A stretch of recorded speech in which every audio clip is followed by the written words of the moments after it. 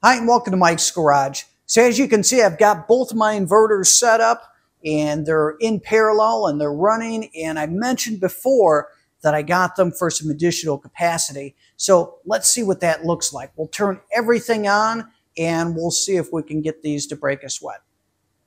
Okay, all the lights are on in the chill area of the shop. Got my uh, first mini split is on max, so it's on air conditioning at 62 degrees.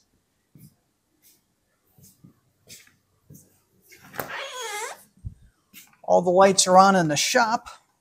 We turn on the uh, workbench as well. Get that fired up. And we'll power, power up the uh, drill press.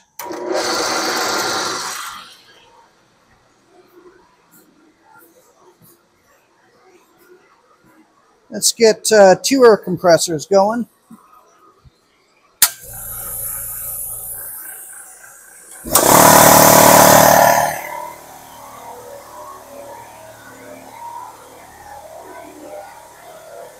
This AC is on max as well, 62 degrees.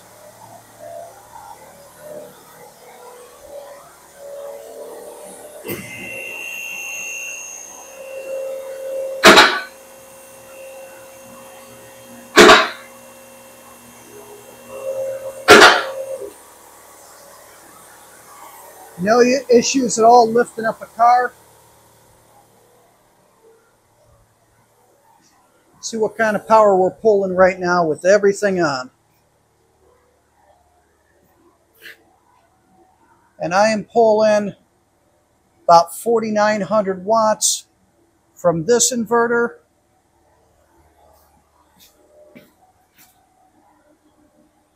From the other one, 4,600.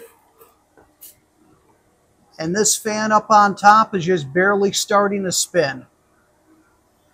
Same with the uh, with the other side.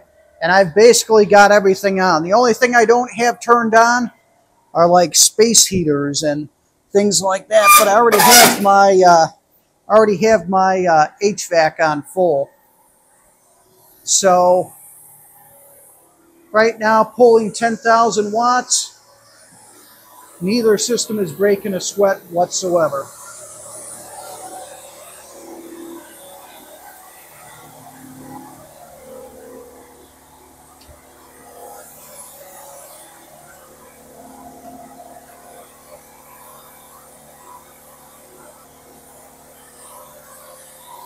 Turn on the radio and TV.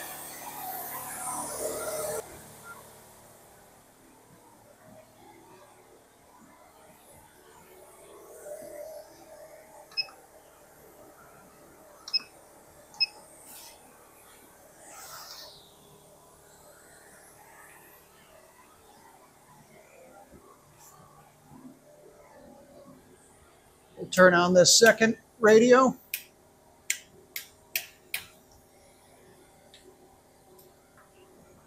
And all the lights.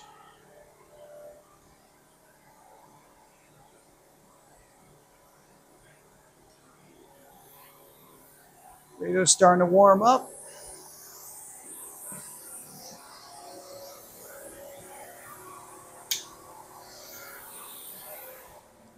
Got to have the black lights.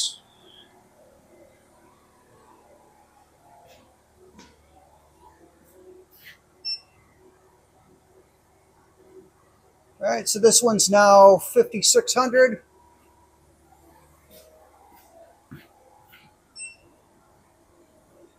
Fifty-three hundred.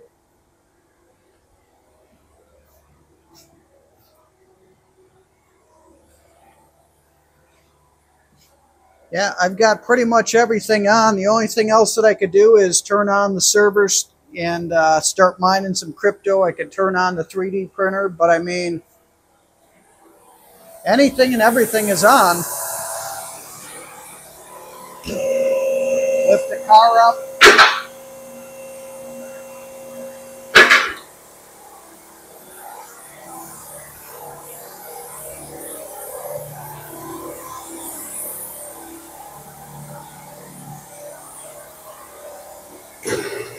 Lift another car up.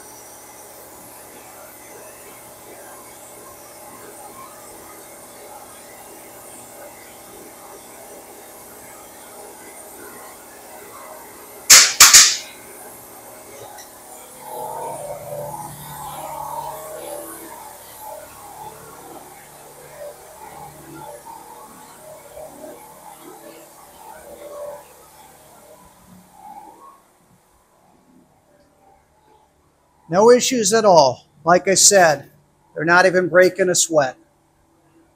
So that's why I got two of them, so I can put as much load as I want to put on it and would have no issues whatsoever. So next I've got to set up these three for the house, so that's going to be coming. And yeah, that's it. Thanks again for watching Mike's Garage.